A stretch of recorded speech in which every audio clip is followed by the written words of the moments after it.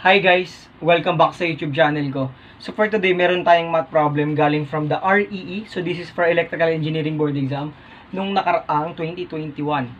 So ito yung problem natin mga Lodi.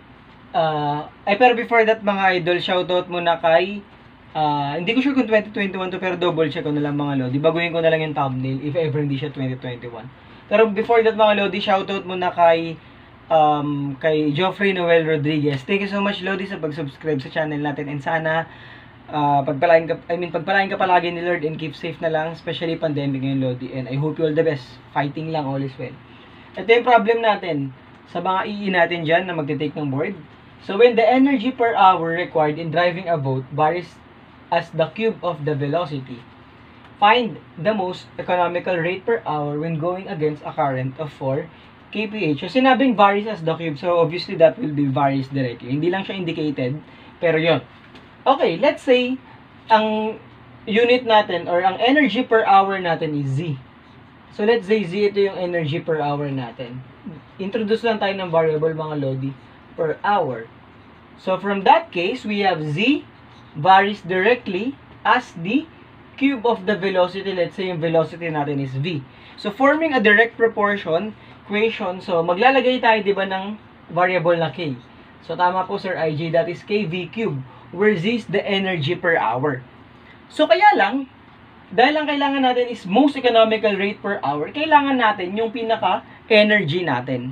Eh dahil energy per hour to, paano natin kukumpitin yung energy lang?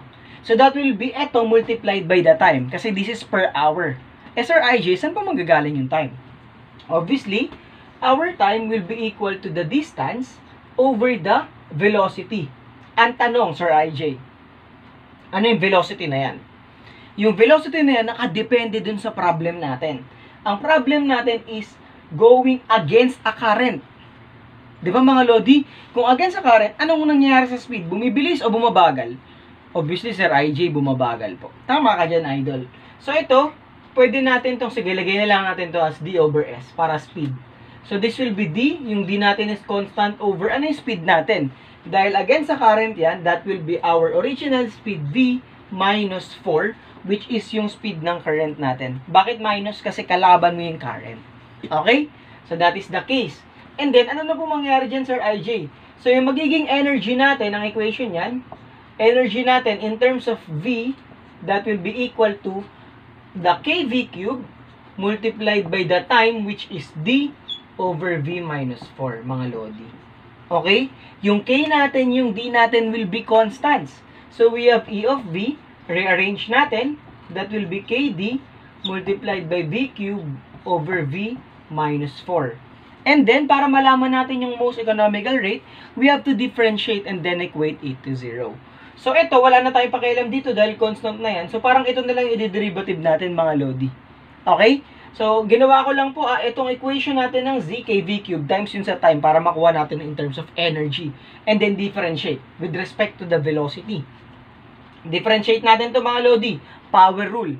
So, v du, so v minus 4 multiplied by the derivative of the numerator that is 3v squared minus v cube times derivative ng ilalim is 1 over the square of the denominator squared natin yan, di ba? Equals 0.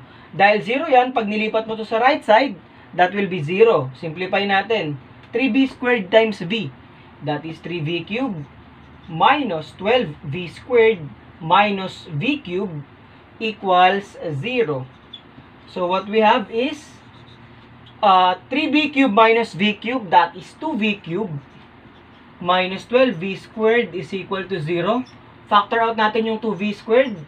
Siyempre, hindi naman pwede maging 0 yung speed natin, di ba? So, 2v, di ka na gumagalaw nun. That is v minus 6 equals 0.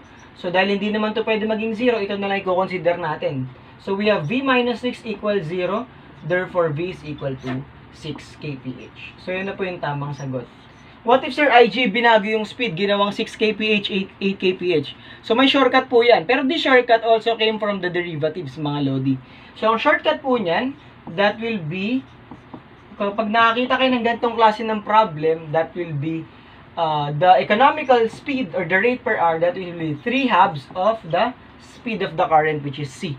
So, kaya ang nangyari, that is 3 halves multiplied by 4 kasi ang speed ng current natin ay 4.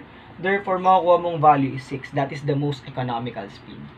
So, sana sa mga friends kong EE dyan na magte-take ng board exam, mas naliwanagan kayo sa problem na to. And I hope you all the best mga Lodi. Konting, konting kembot na lang, magiging engineer na rin kayo. And naniniwala ako dun mga Lodi. Just stay focused and yun. Just do your best and God will do the rest.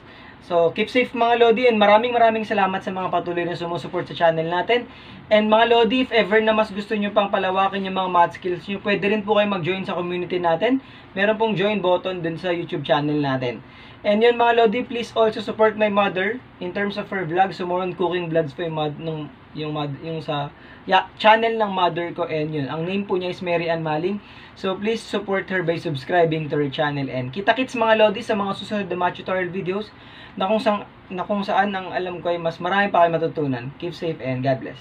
Bye!